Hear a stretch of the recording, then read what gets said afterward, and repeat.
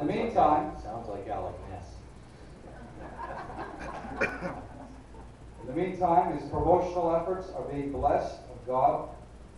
And between Glenn Thash, Thrasher and Brother Bombay, the youth department is growing by leaps and bounds.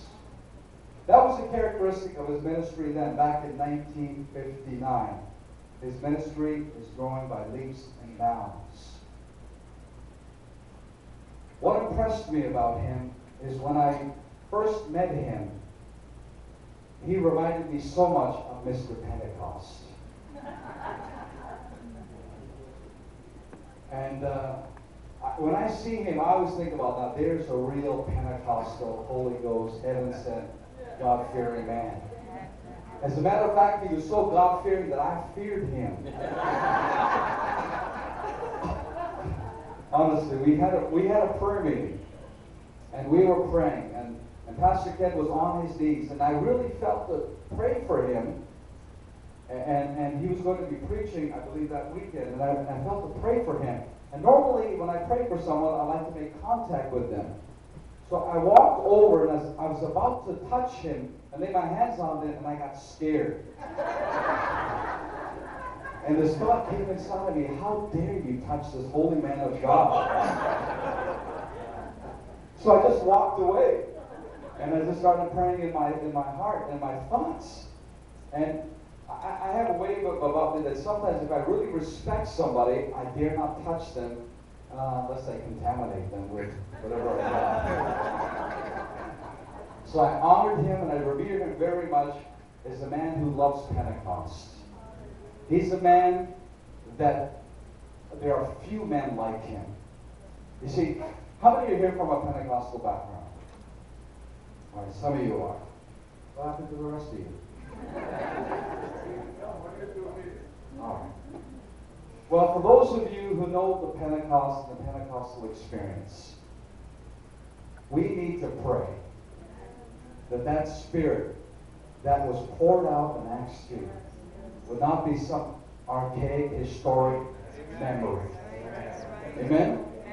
Because on many churches, the only Pentecostal experience you will have is with, is with the sign that you read before you enter the church. And after that, it's all downhill and lost. And our desire is to have some of this anointing rub off on us before God calls them home. Because God knows we need a remnant that will restore and keep the book of Acts alive in this generation. That will not be intimidated by the intellectuals and the Lord's School of Learning. They call it hard, but I don't think so. I would like Pastor Ken and Sister Joan to come here, and we're just going to offer a word of prayer with them. Is that all right? I want to thank you so graciously from my heart to come out and make this evening possible for those who participated and those who are just here.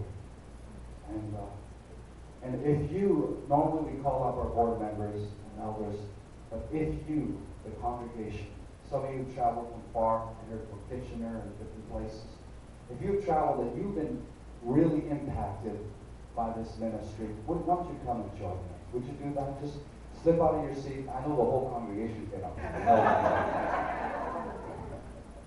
but when some of you come, just, I welcome you to come. Just come. Let's just, and just if you're not afraid to touch him, then lay your hands on him.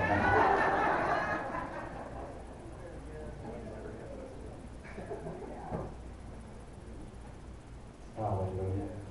And just in honor of this godly man, would you stand with me, those of you standing in your pews? Would you stretch one hand towards heaven and one towards them tonight? Hallelujah. Hallelujah. Go ahead and pray. Glory to God. Thank you, Jesus.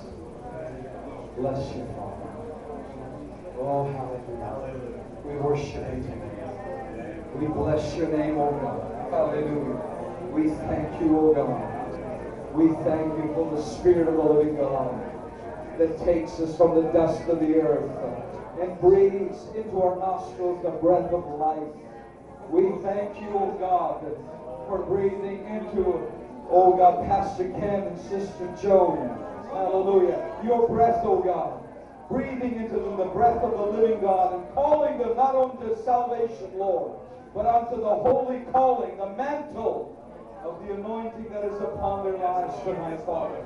We thank you for them tonight, Lord. We thank you for the faithfulness that you imparted in them. We thank you for the years of toil and trials that they have, Lord, persevered through. And today, Lord, they're standing at the altar of the Lord with the faithful surrounding them, Lord, of your faithfulness.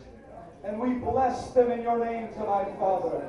We thank you that you have strengthened them to carry on the call of God upon their lives until you bid them to yourself, Jesus. And we pray, Lord, that as long as they're on earth, Lord, that they will continue to minister under the power, the anointing, and under the unction of the Holy Spirit. And the signs that are written in Corinthians the book of Acts will continue to follow and accompany their ministry, we pray, Father. We thank you for good health. We thank you, O God, for all provision on both of them, Lord. Thank you, Lord. May many sons and many daughters be risen up, even in this latter hour, we pray, as a result of their love for you, Father. We thank you now, Jesus. As he preaches your word tonight, may we hear the word of the living God. In Jesus' name,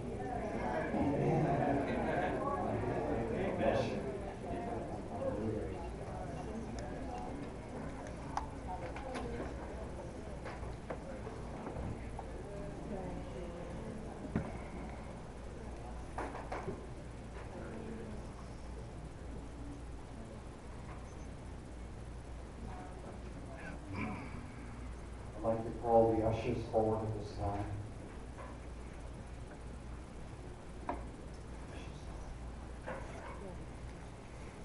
Thank you for making this night possible.